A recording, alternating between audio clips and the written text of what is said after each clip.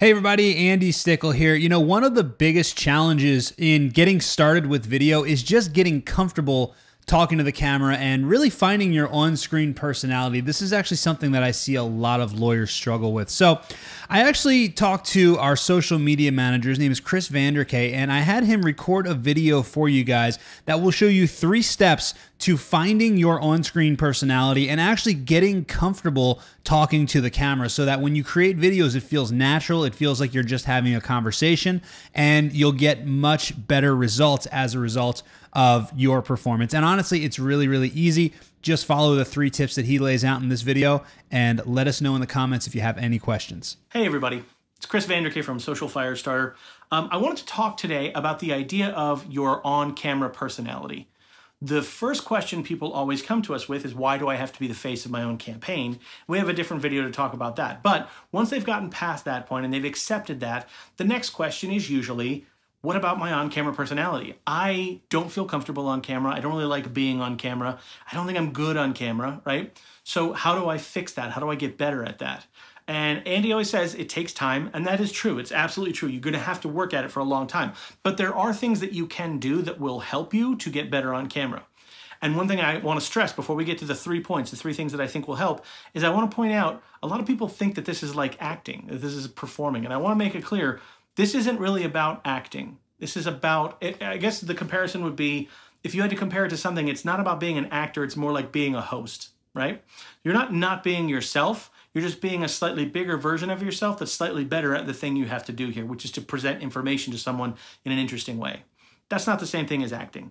And we'll talk about the ways in which it's not the same. And I think the first one, number one, is actually really important, which is be authentic, right? Even with your errors and your uh, and your imperfections and all the things that you feel like are awkward in front of the camera, you have to be honest about those and you have to uh, you have to feel authentic in order for people to want to believe you. One of the reasons why we want lawyers to be their face, their own face on the camera, and we want them to be the personality is because if you've ever watched an ad where they use actors doing things, you recognize within yourself, you immediately shut off, right? Like because I'm not seeing who this person really is. I'm not getting any any genuine emotion, right? I'm not connecting in any way because I'm not even looking at the person that I'm going to be connecting with. You have to have that, right? You have to have that genuine connection. And even if you're on camera, you're the real person, but you're not being your genuine self, people will notice if you're putting on some sort of an affectation. So one of the things you notice about me, I'm sure, is that I talk very quickly, right? I have to accept that about myself, which is one of the reasons why I do a recap at the end of the points that I've covered, because I talk fairly quickly and I want to make sure that they got the points, right? So the second thing that I want to talk about is how to make it a conversation with just one person, right? Uh, meaning, I'm not talking to a thousand people right now. When I'm looking at this camera and I'm talking, I'm talking to one person. I've chosen who that specific person in my life is that I feel comfortable having a natural conversation with.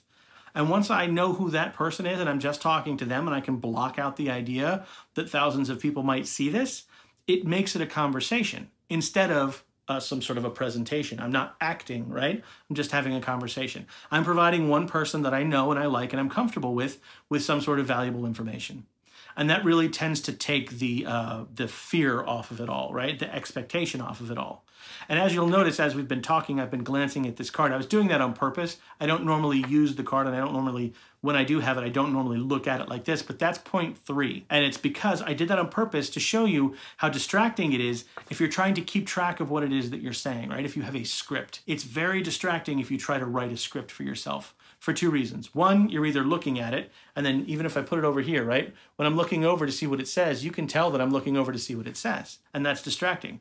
The other thing is if I'm not looking over at it, but I'm just reciting it to you because I memorized it earlier, I memorized it exactly like this, and I will say it exactly like this, right? There's nothing genuine to it because all I'm doing now is spitting words that I memorized back out at you. What you want to have is some sense of natural idea, right?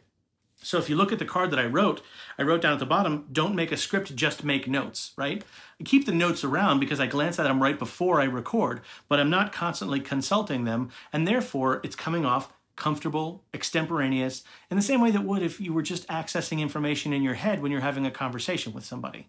That's the feeling that you want to have when you're on camera. You obviously want to provide good information, but you don't want it to become so so important that that information is delivered exactly this way that you've lost all interest in who you are as a person and what you're providing to that other as a human being what you're providing, right? Because otherwise, I could just slap up words on a screen. Easy enough, right? You'd still have the information. You're trying to make a human connection on top of providing that information. So, those three points, which I'll reiterate, because again, I have accepted the part about me that is a problem, which is that I speak quickly. Uh, the first point be authentic, right? Even with your mistakes and with your problems, be authentic. Second point, make it a conversation with a single person. Figure out who that person is in your life that you know you could have any conversation about anything with, and they're comfortable and, and you don't have any nervousness speaking around them. And then that's who you're talking to.